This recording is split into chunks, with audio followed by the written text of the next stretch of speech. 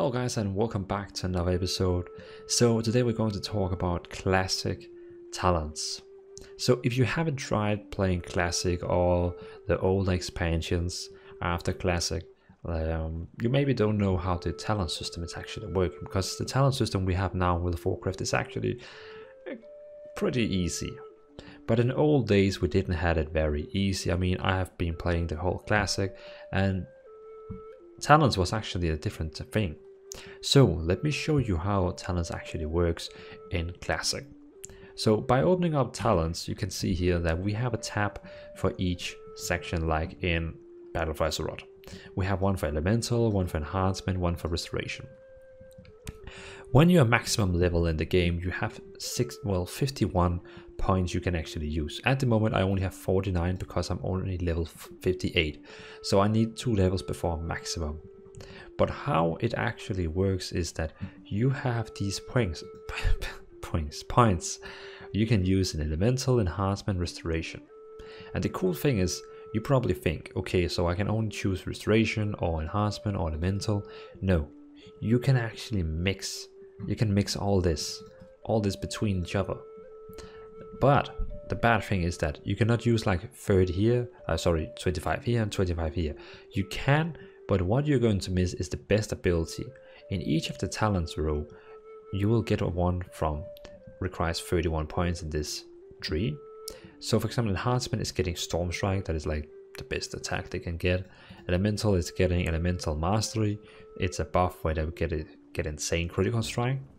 And restoration is getting this mana tide totem that is giving all the healers all the mana back.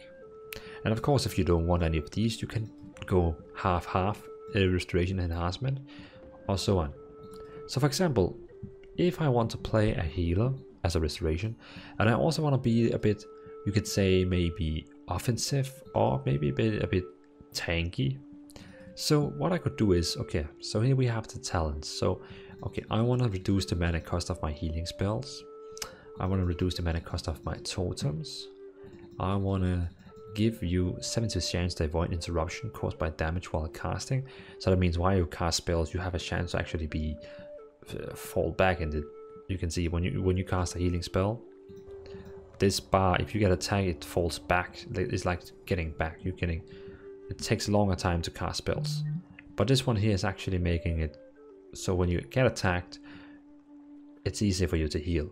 Of course, in a PvE where you don't get aggro, it, it doesn't really, it's not really good.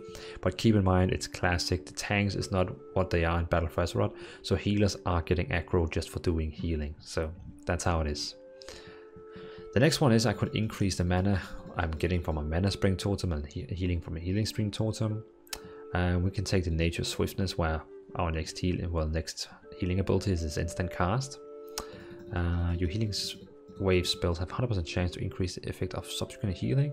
Wave spells the type of 6% for 15 seconds. Blah blah blah blah. Increase the critical effect chance of your healing and lightning spells. Increase the effectiveness of your healing spells. That's quite good. And mana tide totem. So now we have the most important talent you would probably say we can, we can say this is kind of the most important talent for a restoration. I mean, I'm not saying this is the, the, the build that every restoration will play with. I'm just saying that this could be the best thing. So now I still have 18, normally 21 if I was maximum level, and now I can mix around. What I could do is I could for example go to Elemental and get some more damage on my spells and reduce the cost of my spells and reduce the damage taken from fire, frost and nature effects. That would be pretty cool in Molten Core to get some fire resistance. Um, I could also go to enhancement and actually get some more mana. So increase my mana. So now I got 5% more mana. That means I will be able to now cast healing, more healing spells. Increase the chance to block attacks with a shield that would actually be pretty cool for a restoration because we are using shield so why not um, increase your chance to dodge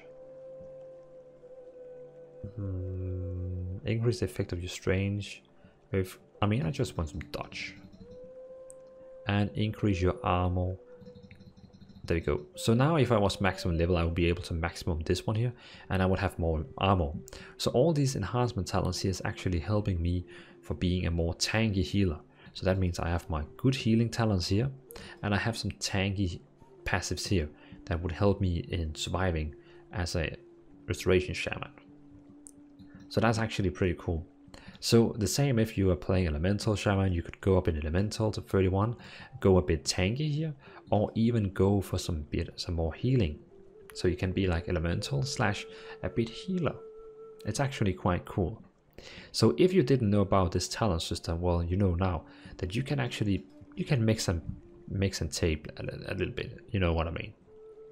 The same for tanks. Tanks can go up in the tank one, and then they can go a bit off of the healing. If you're playing paladin or druid, for example, and then you're gonna go a bit healing, and you can be like you know kind of tank healing. Could actually be pretty cool. So I mean, this was just a little note for you, a little tutorial guide helping on how the talents is actually working, and so on. Just a free tip: if you're getting a, a new spell from your talents, um, it's actually only rank one. You have to go to your spell trainer and actually get upgrading your spell. So you have to upgrade this Mana Tide totem so it actually becomes a higher rank because you're just getting the lowest rank here. And now I have to go to my class trainer and get a higher rank. I'm probably able to get it up to rank 3. So yeah, there it is. So thanks guys for watching and um, well, see you the next video. And if you have any questions or thing you want to see in Classic, leave down a comment and I will make it happen. So peace out and see you in the next episode.